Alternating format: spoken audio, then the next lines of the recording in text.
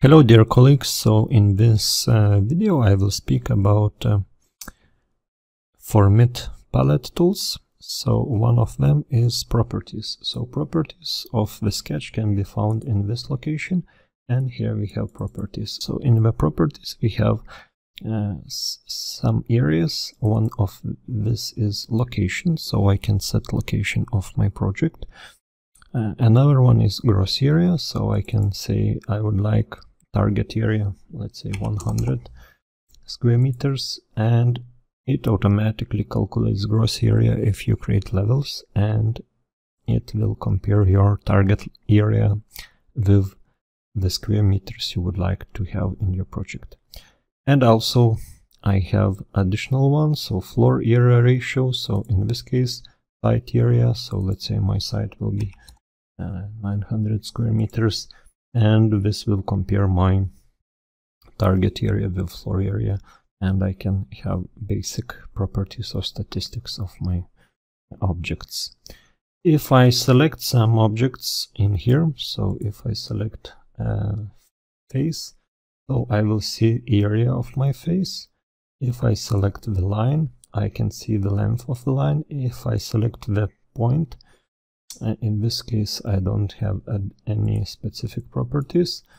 If I select all the cube with lines and faces, so in this case I have object properties, so body 0, comma 117.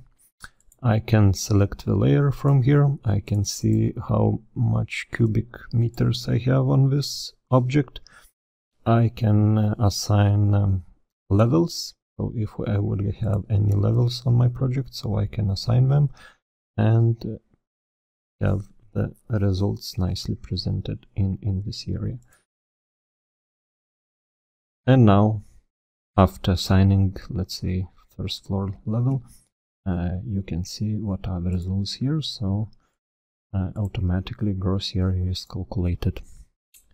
If I select another object, in this case a mesh object, so the results are similar.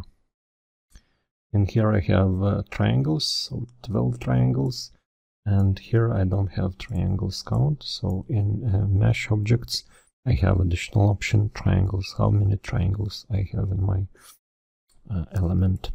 And if I select the group object, in the group object I also have the volume, name, layers, total level area.